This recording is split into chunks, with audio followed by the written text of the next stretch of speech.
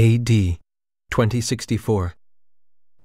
Planet Earth was on the brink of destruction. Clashes between the World Republic Federation and the various nations that opposed it sparked the outbreak of World War III. Weapons of mass destruction, deployed with complete impunity, razed the land in the blink of an eye. People believed it was the end of the world. The dire situation forced the two opposing factions to negotiate a ceasefire, reaching an agreement in only two weeks. However, the war may have ended, but its effects remained. With the deteriorating environment, Earth's population was drastically reduced. Those who survived the conflict lived a confined existence, trapped in underground cities. Countries joined together to form the Greater United Nations and turn their eyes skyward to space. With the establishment of the USTA, or Universal Science and Technology Administration, man began to seek new worlds beyond the stars. AD 2087, the first year of the new space date calendar. Thanks to the success of Professor Trillas Bachtein's warp drive experiments, mankind's dream inched ever closer to reality. The USTA secretly began to implement its SRF project, the Space Reconnaissance Force. They really did an overhaul in this game. Space Date 10. At last, the first official SRF mission. Looks absolutely beautiful. Oh, for real? This moon base will be the start of our travels. I bet they're rehashing all this stuff at the ceremony.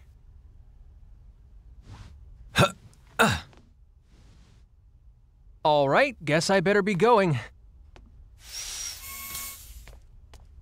Edge? I knew you'd be here. Boy, I just can't get away from you, can I, Reimi? How long do you think we've known each other? I know all your hiding places, Edge. Yeah, you've been hanging on to me for as long as I can remember. Remember how you'd always cry when I wasn't around? Sure took the fun out of playing hide and seek with you. Th that was ages ago. How long are you going to keep treating me like a child? As long as you're so quick to flare up like that, I guess. Uh, If you're here, I guess the departure ceremony's over, huh? Anyway, there's still some time left until we take off. I'm gonna work out a few kinks in the battle simulator. uh, sure. Hey, wait a second! You skipped the ceremony on purpose, didn't you? Yeah, well, I thought I was gonna be able to meet a real hero. I might have gone if Commander Kenny was there, but Shimada's pontificating would just put me to sleep. That's USTA Deputy Director Shimada to you. Besides, I didn't want to see Crowe gloating over his success anyway. It just really bugs me. And you call me childish. You just better not be late for launch preparations, you hear?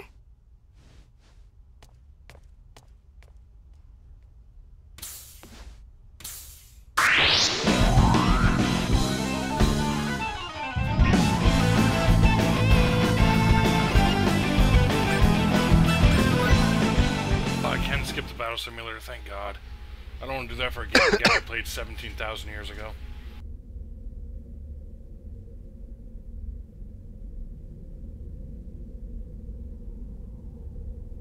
What's it on Steam? Yeah. How much money was that?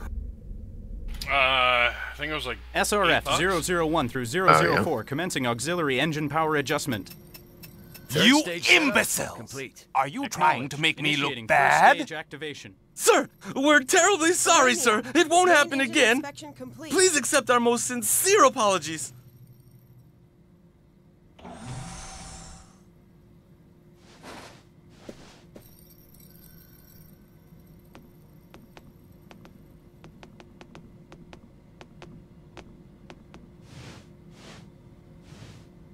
Moonbase Commander Stephen D. Kenny, reporting from Earth, sir.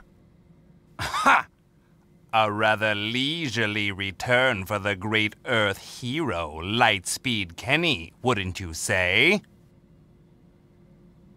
It hardly bodes well for the commander of such an important mission Okay, to miss his hair looks like own shit. departure ceremony. Weird out of place. My apologies, ah. Deputy Director Shimada. Truly, I am blessed with a superior of vast kindness and understanding to have been assigned trivial duties at a time like this. Hmm. Very well. I leave the rest to you. I'm exhausted, Commander. I had to oversee the ceremony in your place, you know. In any case, the guests seemed pleased. It made for a fine dawn to the age of space exploration.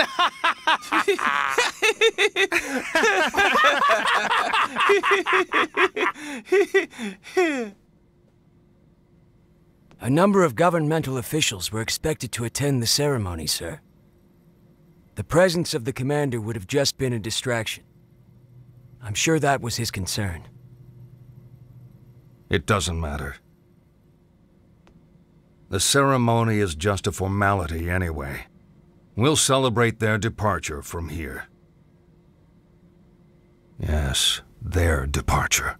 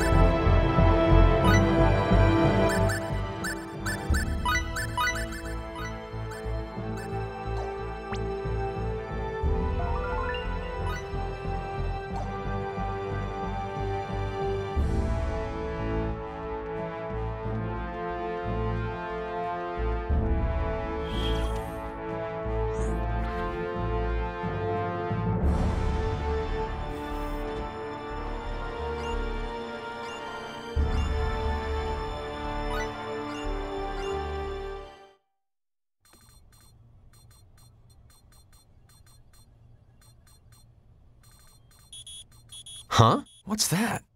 Boo! Ah! Gotcha!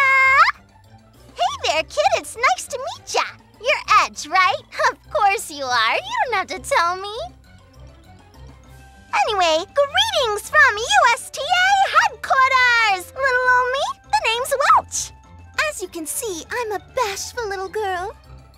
I'll be the one supporting you from Earth, So, like, okay? what do you even do in the game? This'll be fun. Just story-based. forward to working Oh, with yeah. Cheers. Fucking fighting combat. Uh, Stupid shit like that. What is Future-based. it, Edge? What's with that look on your face? Oh, I gotta you don't go mind if I use your first name? Nah, of course you don't. no, I, uh. This audio is is still this so one fucking indecisive loud. or what? Yeesh. Hey, you need a good poke in the eyes, is that it? Come here. Poke, poke. Hey, hold up a sec. Ugh, man. I heard each ship would be getting support from Earth, but I never imagined anything like this. I didn't think your support would be so cute, did you? Anyway, from here on out, I got your back, man. Straight to the fiery depths of hell! Uh, that's really not the kind of thing I want to be hearing before takeoff. Relax, you'll be fine. Let's see now. Your first destination is planet Eos, right? Fortunately, the unmanned exploration craft didn't report anything dangerous out there, like giant outer space bugs or whatever. So yeah, no worries. Go for broke, Edge. Is this the kind of support we're to expect, ma'am? Ma'am, what am I, your mother? We're gonna be together for a while, kid, so let's dispense with the formalities. ah, looks like you got another call. Oh well, enough lover's patter for now. Talk to you later. Yo, Edge.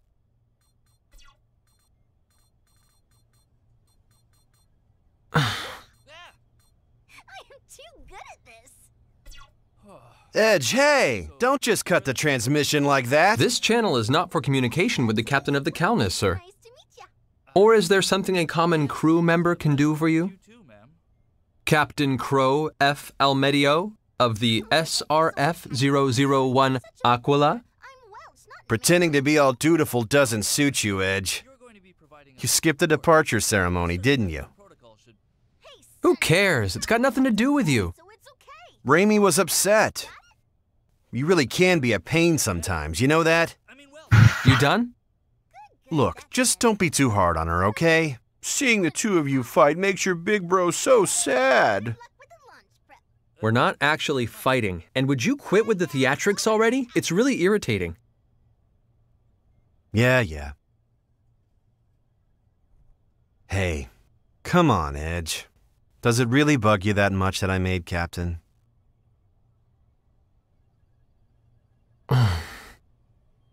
Actually, no, it doesn't. In fact, I think it's only natural you were promoted. It's just. You're getting so far ahead of me. You really haven't changed at all. Still the same kid you were back in school and at the academy. I'm not as far ahead as you might think. There's no need for you to rush yourself. Goodbye. Wait a second. Edge, you realize just how important our duties are with the SRF, don't you? Everyone shares the same responsibility, captain or not. Look, we're all in the same boat here. I'm just as nervous as you are. Captain Almedio nervous? what, we expecting meteor showers tomorrow? This isn't a joke. Look, Edge, how should I put this? Let's both give it our all, huh? Yeah. Oh, Let's. it's so fucking heartwarming. Great. Well, that's all I got for now. Looks like it's What almost is? time. Bon voyage! He's talking to his big bro. Bon voyage. We're going to the same place. Oh well. I suppose I can't stay mad forever. All right then. Let's get this show on the road.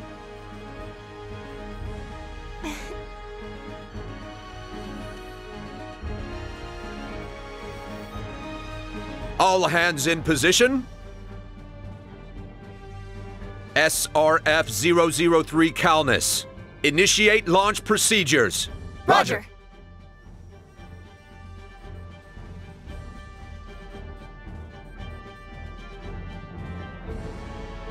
So, this is it. Indeed it is. We've charged these children with the future of our species. Let us salute the departure of our seeds of hope. 001, Aquila, launch preparations complete. 002, Belena to follow. Is it fun? You've all been trained well. Keep a know, steady it's been all hand and so far. perform as you always have. It was an amazing game back when I played it on PS3, but God knows how many years ago that was. The time to step forward is upon us. Brave pioneers charged with the destiny of mankind about to depart for space unknown. I pray for the success of your journey.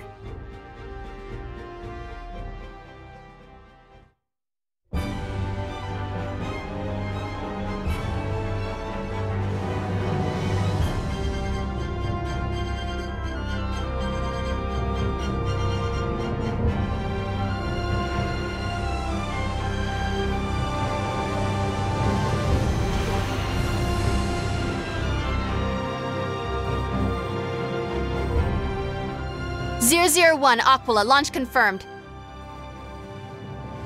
002 Belena, preparing to launch. 002 Belena, launch confirmed. SRF-003 Calnus. Engage! Yes, sir. Initiating launch. you need to do another 10 hour stream. Do you get people that watch you? Or not quite yet? No, I did when I did the 10 hour stream because the stream was so goddamn long. Uh, what about, um, do you tag it to YouTube? Yeah, So you're live on YouTube also? yeah. Huh. That's why I need a second computer. Why? Because it's so much stress to my fucking rig, even though I have an 8700K, it's just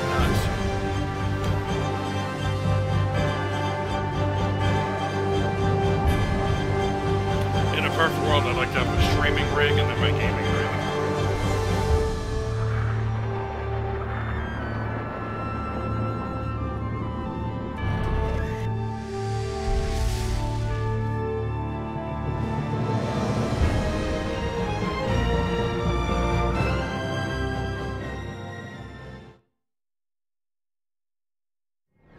But for that to happen, my game room would have to be done. And that costs money.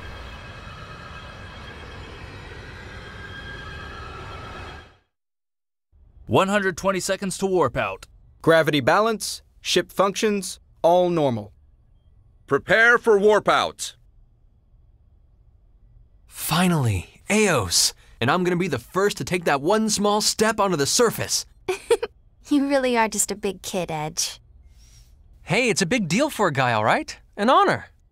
Edge, be careful to keep the ship stable when we warp out. Yeah, just ignore me, why don't you?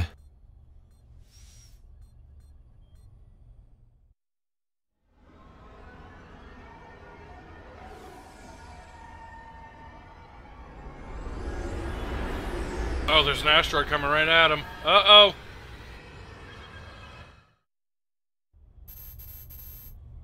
I'm getting a gravity reading. There's a meteor like object crossing our planned trajectory. But from this distance, I can't confirm any gravity wave interference. Meteor.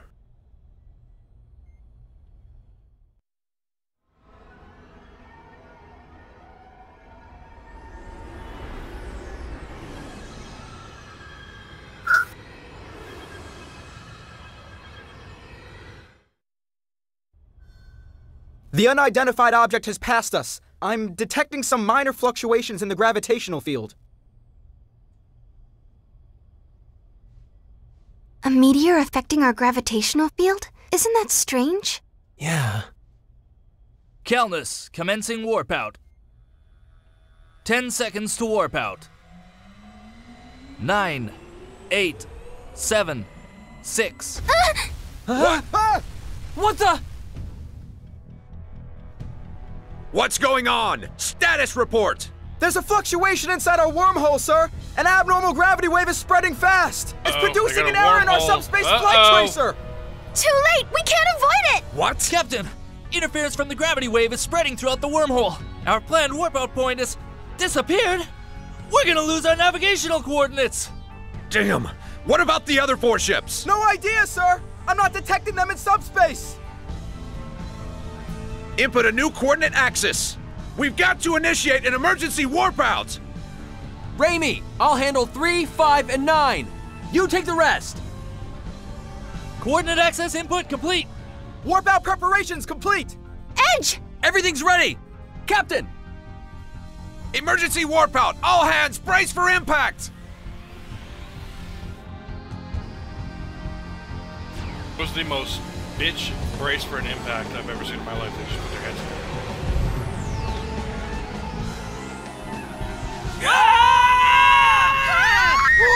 Say it again. They so they have a wormhole gravitational pull bullshit thing. So they're about ready to crash, going out of warp space, and their captain screams "brace for cover," and they literally just put their heads down like there's nothing going on. I don't think I'd want to land with my head down because I could snap your neck anyway. Yeah. I would try to put my own dick in my mouth so that way if I died, at least I'd be happy. Right.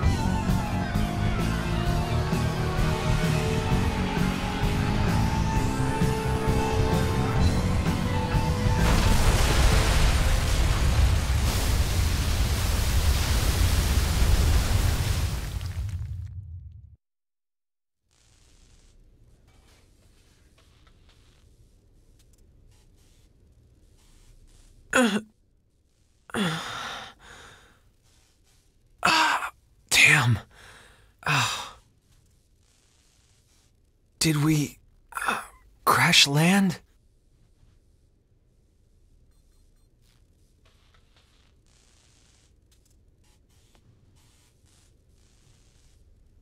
Where are we?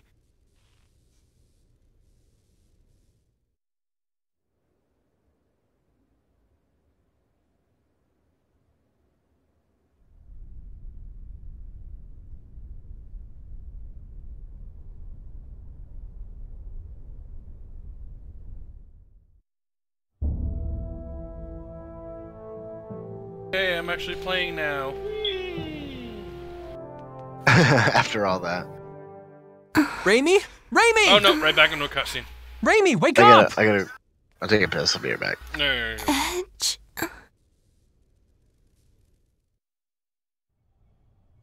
Thank God we're all safe. At least no one's critically wounded. Let's be grateful for small mercies. I'm issuing new directives. Status report. Damage to the ship is severe. The Calnus is in very serious condition, sir. However, based on my analysis of the data, I can say with confidence that we've arrived on planet Eos. All right, we made it after all. Please continue.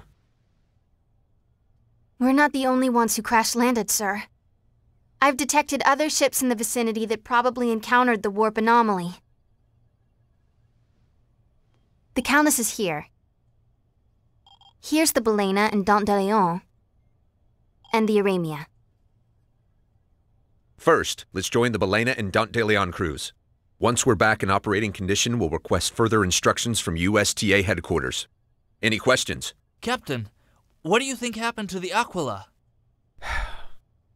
It appears the Aquila attempted an emergency warp out as well, but I'm afraid that's the only information we currently have.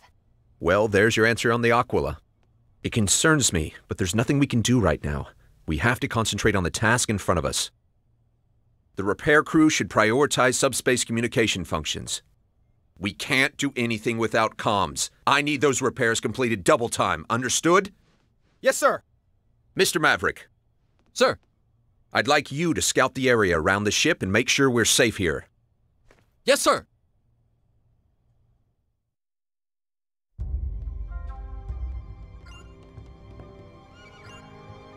Hey, I'm playing again.